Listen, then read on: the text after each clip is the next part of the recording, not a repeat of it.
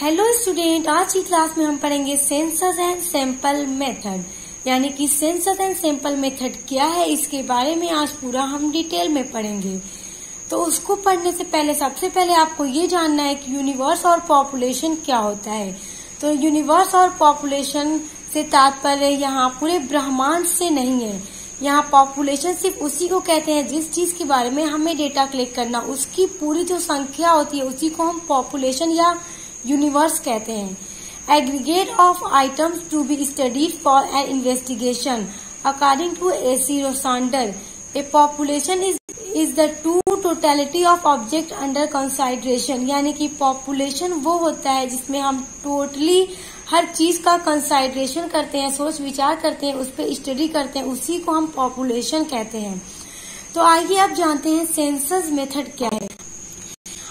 Census method Under this method, data is collected covering every item of universe relating to problem under method investigation.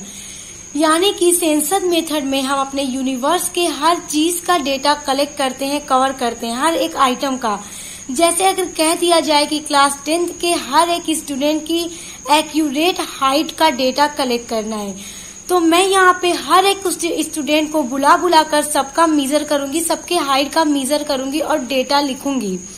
तो जैसे कि हर एक का अगर data collect करना हो हाइट का तो सबकी डेटा को मीजर कर करके बारी बारी उसको लिखना लिखना पड़ेगा। तो इसीलिए कहते हैं, उसी को कहते हैं सेंसस मेथड जैसे हर चीज़ का बारे में एकदम एग्जैक्ट डेटा कलेक्ट करना। तो आइए अब देखते हैं कि सेंसस मेथड कहाँ कहाँ सूट करता है, यानी इसकी सुटेबिलिटी कहाँ कहाँ पे है। स्मॉल साइज़ ऑफ़ पॉपुलेशन यानी कि ये छोटी पॉपुलेशन में सूट करता है। जैसे फॉर एग्ज़ाम्पल मान लीजिए, अगर मुझसे कहा जाए कि टेंथ क्लास के स्टूडेंट की, सारे स्टूडेंट की हाइट का डेटा कलेक्ट कीजिए। तो अब यहाँ पे ज़रूरी तो नहीं है ना कि हर स्टूडेंट की हाइट एकदम बराबर हो, किसी की थोड़ा ज़्यादा, किसी की थोड़ा कम तो हो सकती है। तो मैं एक, अगर टेंथ का कहा जाए तो मैं हर एक बच्चे के हाइट का मेजर करके डेटा कलेक्ट कर लूँगी। लेकिन अगर मुझसे बोला जाए कि पूरे स्कूल का L K G two twelfth class के स्टूडेंट का डेटा कलेक्ट कीजिए हाइट का, कि सब बच्चों की हाइट कितनी है तो यहाँ पे बहुत ज़्यादा मुश्किल हो जाएगा सेंसर मेथड को यूज़ करना। इसलिए ये large size large size population पे सूट नहीं करता है। ये हमेशा स्मॉल साइज़ ऑफ़ पॉपुलेशन पर ही सूट करता है। सेकेंड है डाइवर्स आइटम इन पॉपुलेशन, यानी कि अलग अलग डेटा कलेक्ट करने में, पॉपुलेशन का अलग अलग डेटा कलेक्ट करने में ये सूट करता है। तीसरा है रिक्वायरमेंट ऑफ़ इंटेंसिव एग्जामिनेशन जैसे अगर किसी चीज़ का एकदम एक्यूरेट डेटा कलेक्ट करना हो, एकदम डेटा एक्यूरेट हो, मगर अगर कहा जाए कि एकदम बच्चों की हाइट एकदम सही आनी चाहिए तो हम वहाँ पे सेंसर मेथड को ही यूज़ करेंगे, तभी तो सबकी हाइट सही से आएगी तो एकदम एकदम एक्यूरेट होगी। इसीलिए कहा गया है रिक्वायरमेंट ऑफ़ इंटेंसिव एग्जामिनेशन एकदम गहन परीक्षा करनी पड़ेगी हर हर डेटा को कलेक्ट करने के लिए। चौथा है हाई डिग्री ऑफ़ एक्यूरेसी यानी कि एकदम एक्यूरेसी यानी शुद्धता होनी चाहिए। अगर कहा जाए कि हमारा डेटा एकदम शुद्ध हो तो हम वहाँ पे सेंसर मेथड को यूज़ करेंगे। तो आइए अब इसके मेरिट ऑफ़ सेंसर मेथड पढ़ते हैं। सेंसर मेथड रिलायबल होता है, यानी कि एकदम विश्वसनीय होता है। इसमें कहीं पर भी झूठ नहीं होता है, क्योंकि सेंसर मेथड में हम हर चीज़ का अलग अलग डेटा कलेक्ट करते हैं। उसके बाद है एक्यूरेट ये एकदम एक्यूरेट होता है। तीसरा है लेस बायस यानी कि इसमें पक्षताप नहीं होता है।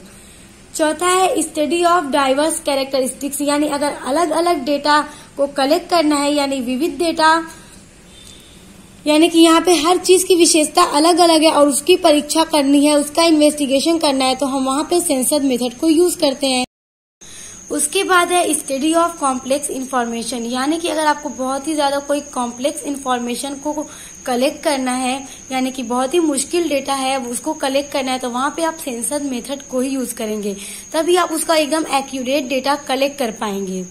तो उसके बाद हम देखेंगे डीमेरिट ऑफ़ सेंसर मेथड तो पहला है कॉस्टली यानी कि सेंसर मेथड में अगर आपको बहुत ही ज़्यादा एक्यूरेट डेटा कलेक्ट करना है तो आपको वहाँ पे मनी टाइम एंड इफर्ट लगाना पड़ेगा, तभी जाकर आप बहुत एक्यूरेट डेटा कलेक्ट कर पाएँगे। इसलिए सेंसर मेथड बहुत ही ज़्यादा कॉस्टली होता है।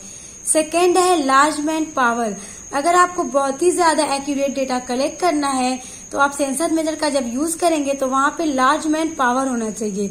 जब तक आपके पास लार्ज मैन पावर नहीं होगा, आप एक्यूरेट डेटा कलेक्ट नहीं कर पाएँगे।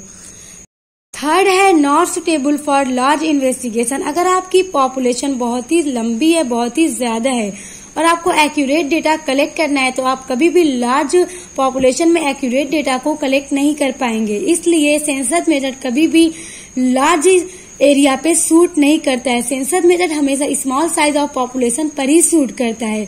तो ये third merit and demerit of census method तो आई होप कि सेंसर मेथड उसकी suitability merit and demerit आपको बहुत अच्छे से समझ में आ गया होगा। अगर आपको समझ में आ गया है तो वीडियो को लाइक कमेंट शेयर ज़रूर कर दीजिए।